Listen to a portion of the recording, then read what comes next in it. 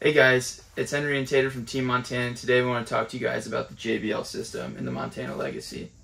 Now the JBL system comes with five speakers, two located up in the front with a subwoofer, one located in the back in the, the, in the bathroom, and then two located outside. Now Tater, can you explain a little bit more about the subwoofer and how it works? This is my favorite part. I'd love to. So right here we got a JBL subwoofer. All right, and then back up here we have our gain control, which is a knob to control the bass if you want it low or if you want it high, or maybe if you're in the campground, things are going on, and then noise ordinance. You can flip it down real quick before anybody knows that you're weighing in. All right, now let's talk about all these different buttons down here and, and we'll explain some of their functions.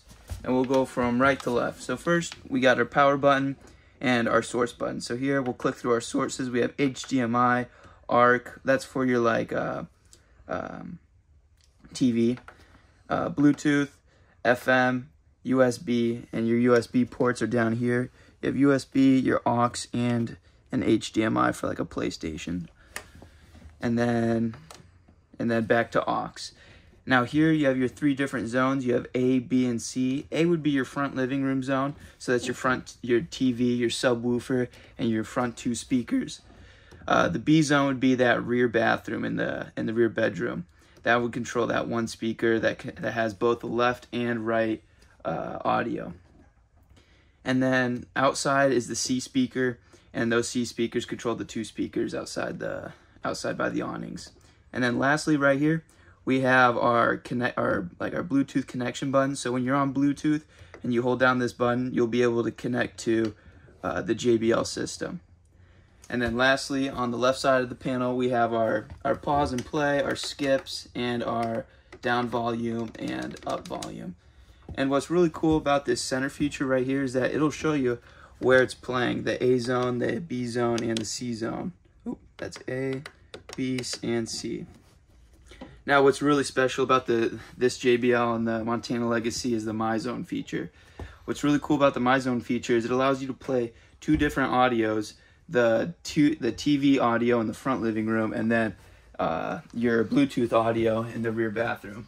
And what that allows you to do is, you know, say the kids are up front watching a TV show or a movie, they can watch that up here.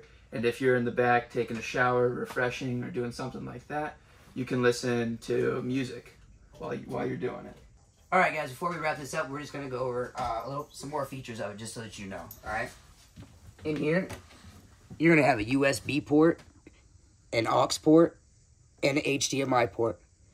The HDMI port's real convenient. Um, I don't know. My son has a PS5. Instead of me having to put it in back here, and then every time I want to undo it, all right, I don't have to do that. Now I can just pop the HDMI in here. Okay. Uh, another fun fact, guys: the factory reset is located here inside the aux port. Dual functions. You're gonna need to take a paper clip and just go ahead and push that button. Thanks for watching, guys. Leave us a comment down below and tell us what you like, and, or if you have any questions. Tater, do you have anything to add? Uh, thank you for watching. We will get better, and uh, please don't forget to subscribe.